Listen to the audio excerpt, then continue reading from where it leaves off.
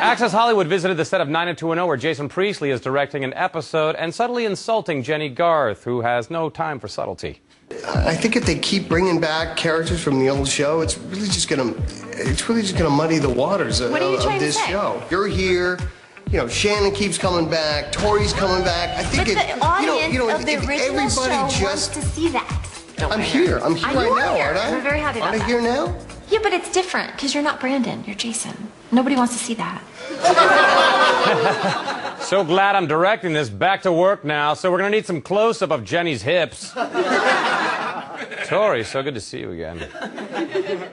What's over there? Uh,